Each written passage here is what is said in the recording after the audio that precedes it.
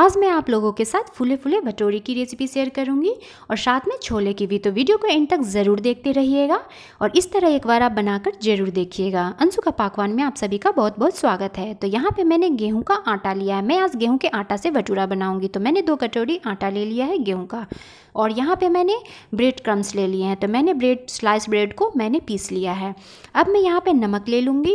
एक चम्मच हमें तेल ले लेना है और यहाँ पे एक चम्मच मैंने दही ले लिया है और इसे हल्के हाथों से हमें मसलते हुए देखिए, डो बनाना है। तो इस तरह से आप मसल लें मैंने यहाँ पे बेकिंग पाउडर और इनो, बेकिंग सोडा किसी भी चीज़ का यूज़ नहीं किया है। पानी थोड़ा थोड़ा डालें और डो आप बना लें। सॉफ्ट डो हमें बनकर बनाना है, देखिए। इस तरह से मसलते हुए आपको डो बनाना है। तो देखिए, इस तरह से डो बन चुका है। अब मैं हाथों को ग्रीस करके और इसके आटे के ऊपर में मैं यहाँ लगा दी हूँ। तो देखिए, और अब मैं इसे कवर करके तीन से चार मिनट के लिए इसे छोड़ दूँगी। तो अब मैं आपको दिखा दूँगी, तीन से चार मिनट हो चुके हैं। देखिए, कितना अच्छा डो लग चुका है और सॉफ्ट भी बन चुका है। देखिए, अब मैं यहाँ पे लोई ले लूँगी, हाथों को ग्रीस कर ले आप और यहाँ पे लोई ले ले, भटूरे के साइज़ का आप लोई तोड़ ले और गोल गोल बना करके जैसे आप रोटी बनाते हैं, उस तरह से आप इसे गोल कर लीजिए। तो देखिए, इस तरह से हमें गोल कर लेना है और अब मैं इसको बेल लूँगी। तो भटूरा को कभी भी आप पतला ना बेलें। तो आप चाहे तो यहाँ पे आप सूखे आटे का यूज़ कर सकते हैं। तो इस तरह से हमें घुमाते हुए बेल लेना है। और अब हमें बेल लेना है। इस तरह से आप एक बार बनाकर भटूरा ज़रूर देखिएगा। बहुत ही टेस्टी बनेगा और फुला फुला भटूरा बनेगा। आटा का भटूरा बहुत ही टेस्टी होता है, खासकर बच्चे या बड़ों के लिए। ज़्यादातर कोशिश कीजिए कि आप आटा ही यूज़ करें, मैदा का यूज़ बिल्कुल भी ना करें। तो अब मैंने यहाँ पर ऑयल को गर्म कर लिया है। तो देखिए ऑयल गर्म हो चुका है। इस तरह से हम चेक कर लेंगे। तो देखिए, ये ऑयल बिल्कुल ही गर्म हो चुका है। जब ऑयल गर्म हो जाए तो फ्लेम को आप मीडियम कर दें। और मीडियम टू लो फ्लेम पे इस तरह से भटूरा को डालकर ऊपर से आप प्रेस देते हुए देखिए हल्के हाथों से और इसे फुला लीजिए। देखिए, और फुलाने के बाद इसे दोनों साइड से आप सेक लीजिए। वाओ, कितना सुंदर भटूरा फुल करके तैयार हो चुका है। तो चलिए अब हम छोले बनाते हैं। तो मैंने यहाँ पे छोले चना ले लिया है। इसे रात भर पानी में डाल करके भिंगो दिया था और अब मैं इसे उबाल लूँगी। तो देखिए यहाँ पे मैंने इसे उबाल लिया है प्रेशर कुकर में।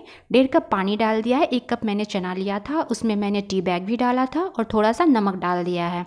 और इसको सात से आठ सीटी आने तक हमें उबाल लेना है। तो इस तरह से मैंने छोले चना को उबाल लिया है।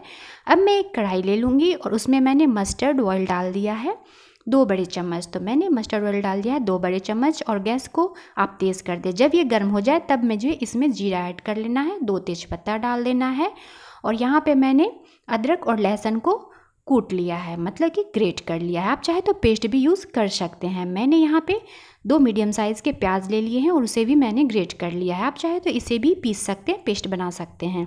यहाँ पे मैंने दो मीडियम साइज़ का टमाटर ले लिया है, इसे भी मैंने ग्रेट करके ही डाला है। अब मैं यहाँ पे हल्दी पाउडर डाल दूँगी, फ्लेम को अब मीडियम टू लो रखें।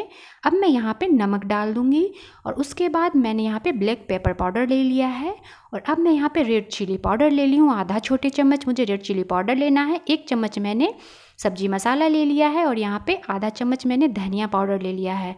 तो इस तरह से डालकर हमें भून लेना है। अब वो जो चना का पानी था, जो मैंने छोले उबाले थे, उस पानी को हमें फेंकना नहीं है। इसमें यूज़ कर देना है। तो आप थोड़ा थोड़ा डाल करके पानी को और मसाले को मीडियम टू लो फ्लेम पर अच्छी तरह से आप भून ले, देखिए। इस कलर का मसाला हो जाएगा।